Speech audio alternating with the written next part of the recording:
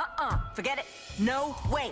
I'll change Vinnie's spark plugs. I'll change his carburetor. But I will not change his... Whoa, I really wish we could stay and help with the dirty work, Charlie girl, but it's uh, it's time we sky. Uh, you see, we, uh, uh... Uh, yeah, we, uh, we gotta see a man about a way to bring the little bro back up to speed. Yeah.